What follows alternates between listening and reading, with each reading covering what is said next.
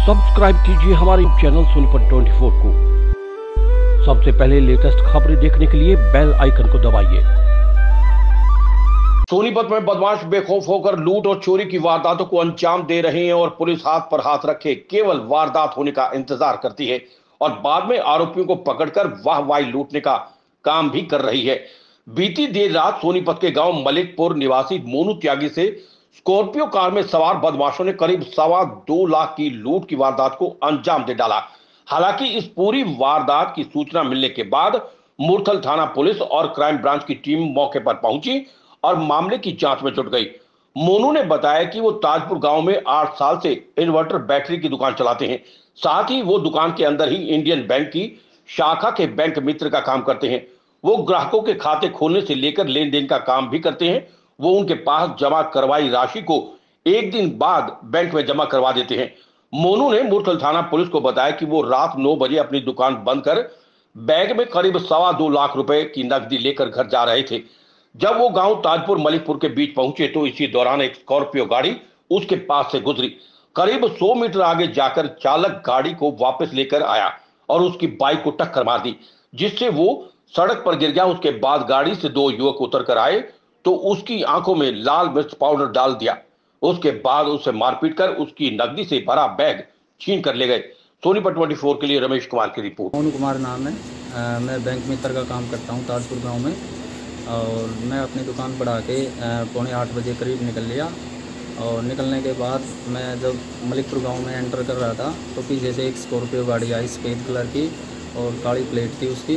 उसने ओवरटेक किया मेरे को। मेरा फ़ोन आ गया रास्ते में तो मैं रुक गया साइड में खड़ा हो गया। आगे से वो स्कॉर्पियो गाड़ी वापस मुड़ के आई और मेरे को सीधी टक्कर मारी। मैं गिर गया और गिरने के बाद मेरी बाइक भी गिर गई।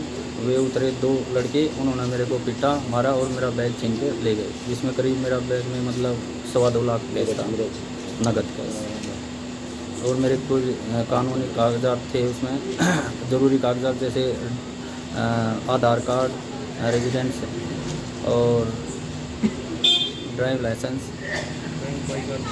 और कोई मिर्च वगैरह भी जोखी भाई हाँ मेरे को उन्होंने लाल मिर्च के मतलब आँखों में मारी है और मेरे को जलन होने लगी मैं देख नहीं पाया कुछ कितना कैश था भाई? सवा दो लाख।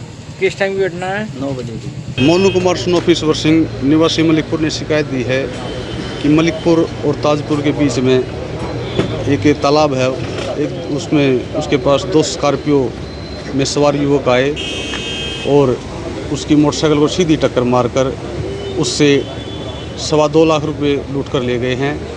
केस रजिस्टर कर लिया गया है इन्वेस्टिगेशन जारी है। बाइक पे कितने लोग थे? बाइक पर अकेला था अकेला मोनू था। बाइक पर टक्कर मारी गई बाइक को टक्कर मारी गई है। स्कॉर्पियो में दो नौजवान लड़के थे। बाइक चालक को आँखों में कुछ मिर्ची पाउडर ऐसा कुछ भगाया गया? को केमिकल था उसको लग रहा था लेकिन ये क्लियर नहीं कह सकते कि मिर्ची पाउडर है वो। कुछ बताया गया आपको? हाँ।